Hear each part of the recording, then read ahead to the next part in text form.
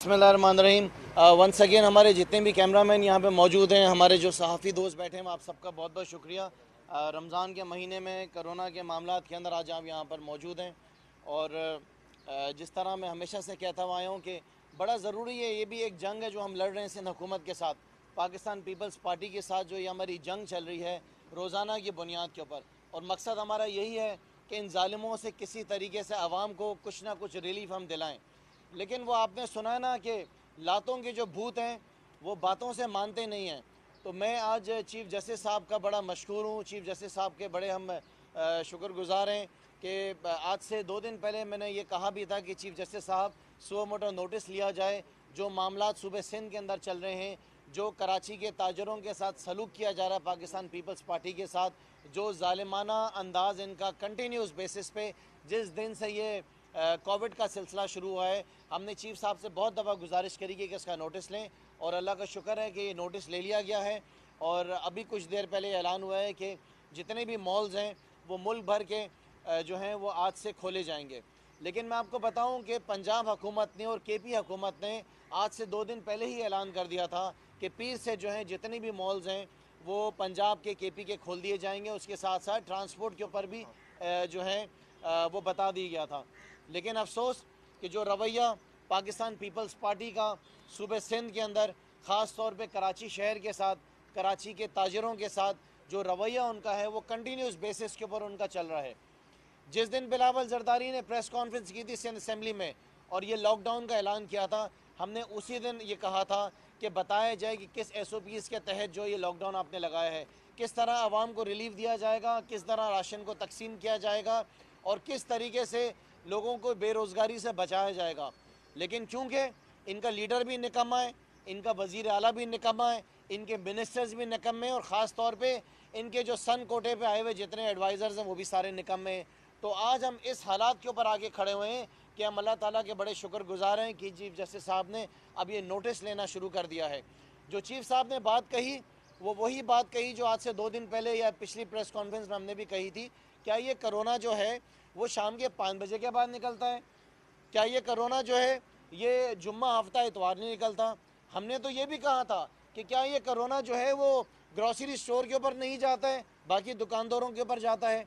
जो ताजर बरदरी हैं, क्या उनके पास करोना जाएगा, बाकी जगह पे नहीं जाएगा? जिस नालायकी से पीपल्स पार्टी ने सूबे सिंध के अंदर अपनी नालायकी दिखाई है, जो अपना रुतबा इन्होंने पूरे दुनिया के अंदर दिखाया है, मेरे ख्याल से मिसाल कहीं नहीं रहती। जितना नुकसान सूबे सिंध को पीपल्स पार्टी ने ये पिछले दो महीने में पहुँचा है। मैं समझता हूँ कि सदियों के अंदर ये लिखा जाएगा कि ये वक्त वापस अल्लाह ना करे, कभी हमें देखना पड़े।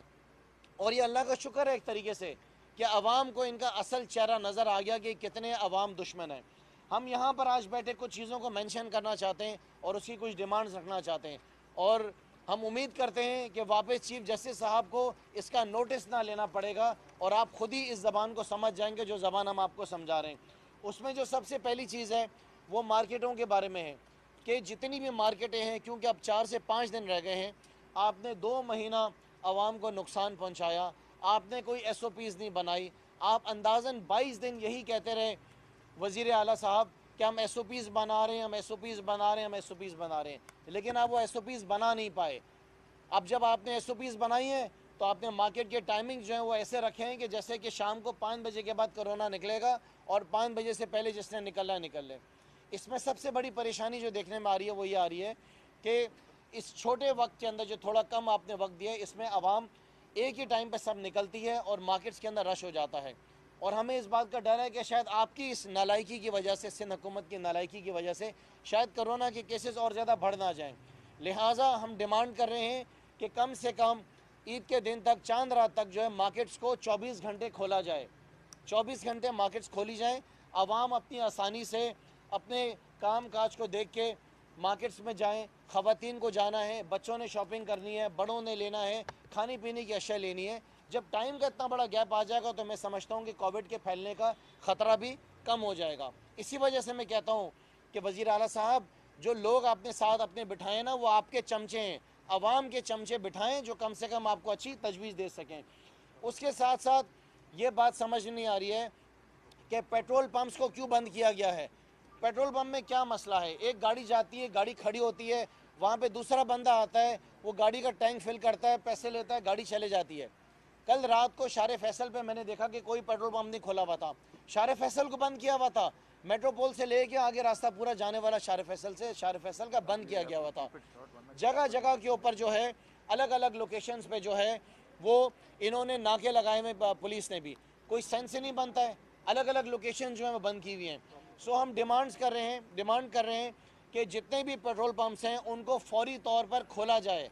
आवाम के साथ जो ये जुल्म हो रहा है इसको फौरी तौर पर बंद किया जाए और पेट्रोल पंप्स को खोला जाए।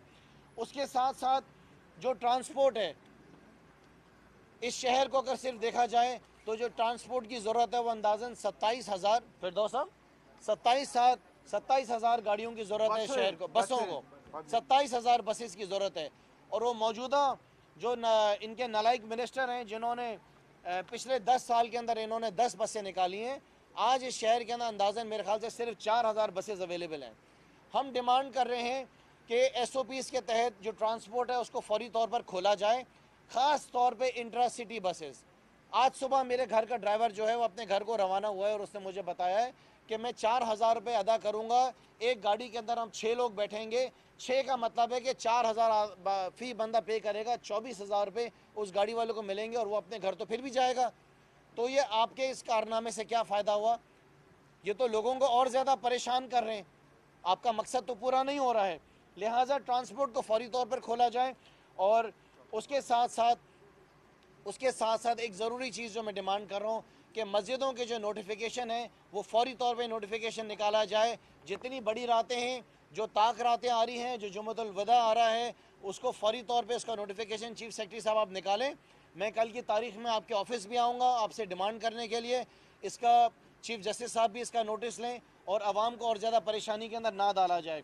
मैं वंस अगेन चीफ जस्टिस साहब का बड़ा मशहूर हूँ कि उन्होंने ये नोटिस लिया है और चीफ साहब इसके साथ साथ एक बात मैं आपको और भी कहना चाहूँगा कि इस सूबे के अंदर और भी बहुत ज़्यादा नालायकियाँ हैं। उसका भी नोटिस लिया जाए। आवाम का आज भी वही हाल है कि पीने के पानी के लिए भी चीफ साहब तरस रही है कौम सूबे सिंध के अंदर। तालीम के लिए बच्चे आज भी तरस रहे हैं और सेहत का भी वही तबाह हाल है।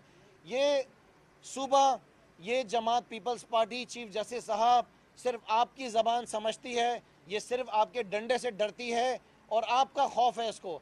हम आपसे हाथ जोड़ के चीफ जस्टिस साहब कह रहे हैं कि नोटिस लीजिए कि जितनी बेजाबतियाँ इस सूबे के अंदर हो रही हैं, जो अरबों रुपए की बेजाबतियाँ, जो ऑडिटर जनरल ऑफ़ पाकिस्तान छाप रहे हैं, जो सूबे सिंध का रोज़ाना की बुनियाद के ऊपर चीफ जस्टिस साहब ये जमात पीपल्स पार्टी सत्यानाश कर रही है। इसका नोटिस लीजिए। हमें इस हकूमत से, सिंध हकूमत से बचाइए और कोई बेहतर रास्ते की तरफ़, हमें आगे की तरफ़ दिखाइए। कोई ऐसा कानून देख लीजिए जो इनके ऊपर इम्प्लीमेंट हो जाए। कोई ना कोई रास्ता ऐसा निकले जिसके ज़रिए हमारा इनसे छुटकारा होए